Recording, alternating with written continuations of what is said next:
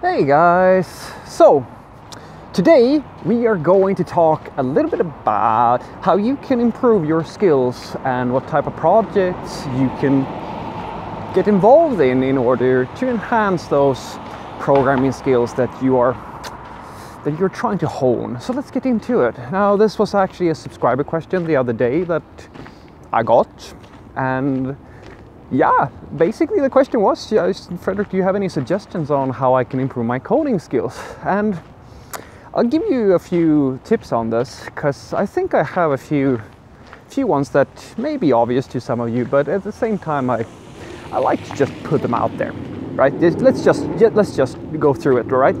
So one of the first things that I suggest that you do as a junior, especially when you're just starting out, you're kind of learning things, you should get yourself weekend projects. Now, what do I mean by weekend projects? Well, I mean that weekend projects, like for me, a weekend project is just like I'm playing around with something. A great example is when I wanted to learn Docker, for example. I spent a few weekends just playing around with some containers, setting things up, you know, just played around with it. I'm saying, like, like there's no goal with it. You're just trying out the technology, reading up a bit, and you know, having some fun with it. That's it. But the thing here is that this little exercise and just playing around with with something like Docker, for example, I, the goal is not to kind of to learn something to to do it for as a job. It's more about just getting an, a, a holistic, like a higher level understanding of the tool in question. Because the problem with weekend projects is that you do not get to use them in a real life situation and you don't get the sort of understanding that you need in order to apply those skills later on in the in the work in the workforce. It's something that I've been claiming is an like operations. Operations is a great example of where it doesn't matter how much you play around with it. I mean, you can get yourself a Amazon AWS account or a Google Cloud GCP mm, account or something like that, and you can play around with your small containers and you can set up some stuff. But you can never understand how it is to actually work at scale or in a professional capacity. So, what's vital is that you play around with the things that you may find interesting because it's going to give you energy to to keep on going. That's also very important. Don't try to force yourself to learn things that you're not that interested in. Not that in the beginning, because trust me, any exposure to development or anything of anything in IT basically is going to give you benefits. You're going to learn things just by being in that environment. So that's number one, weekend projects. Second thing I highly encourage you to do because this person was asking me about open source and he was talking about that that sort of thing and i kind of see the thing is i'm sorry to say it but if you are unless you are either a genius who reads binary or you're a little bit more experienced it's very tricky for you to to get into open source and like contribute to these bigger projects you can absolutely contribute in different ways you can be engaged and read and all that good stuff. But my guess is that you want to code. And that's what you should be doing, at least in the start. But honestly, once you get above a certain level, it's actually very beneficial for you to just read other people's code. I mean, I can relate to, and I, or rather, I used to have this thing, which I did, like when I was a little bit more junior than I am right now, where I actually had issues understanding other people's software, and to some point I still do. So it's something I'm trying to work on. So don't dismiss, like, guys, reading other people's code is actually very useful for you to develop your skill set. So in the beginning, I suggest that you kind of, I mean, I'm not saying that you should go into, I don't know, like the Node.js core and start looking through that code or that level of software. It might be a little bit too complicated for you, but it's not a bad idea to just zip through some projects on GitHub and so forth and kind of look at things. A great example for those of you in front end, go to CodePen and check out other people's pens.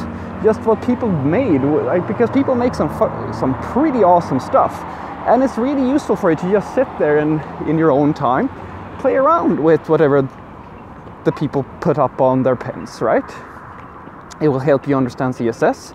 It will help you understand JavaScript and all that good stuff. So that's also a pretty good tip.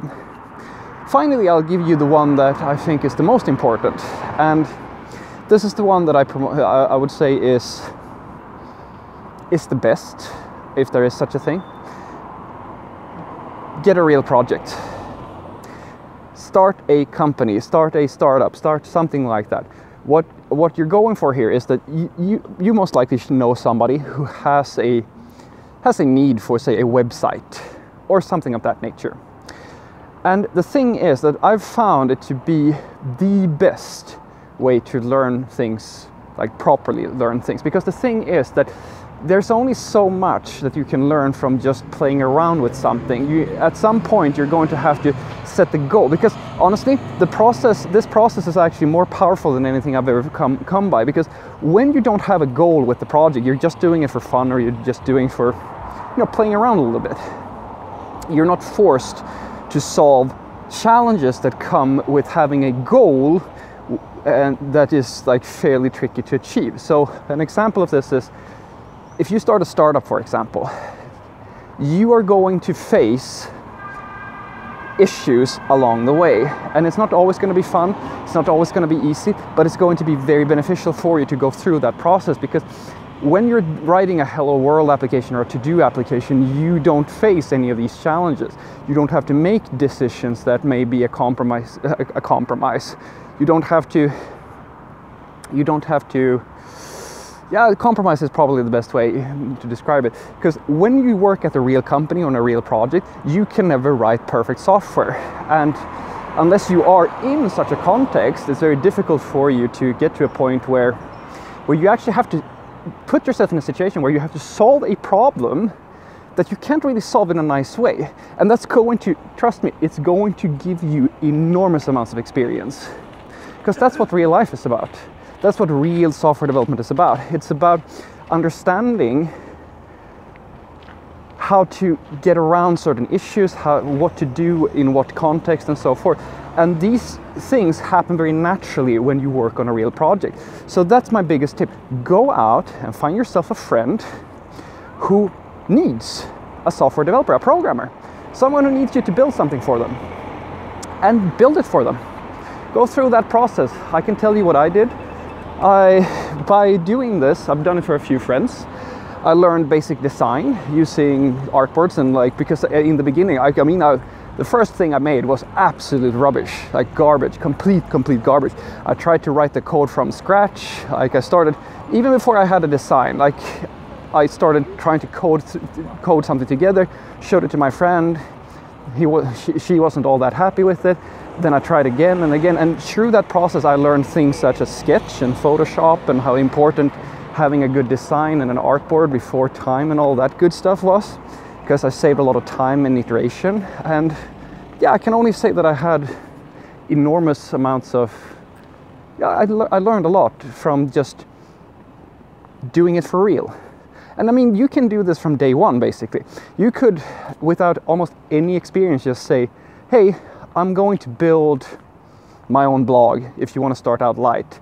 It's even, in my experience, it's even better if you build it for somebody else. But start out there. Just say that, oh, my friend has need for a website for his or her little small, small time company. And then you take it on yourself to set that up for them. That's it. Trust me, doing that is going to teach you much more than most of like just doing weekend projects and stuff of that nature. You should still do that just because it's fun. But that's that's my biggest tip to you because oh, and the best part is when you're done, even if you think that the project is garbage, if you have been able to take a project from nothing, delivered it and had a happy customer, if you will, quote unquote, that is something that's going to weigh very heavy on your CV. Trust me. A lot of these, like a lot of people will have a portfolio filled of these nothing projects that, I mean, it's great, they show off coding skills.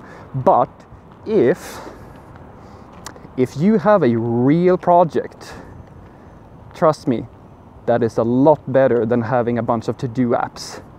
That's just from my experience anyway.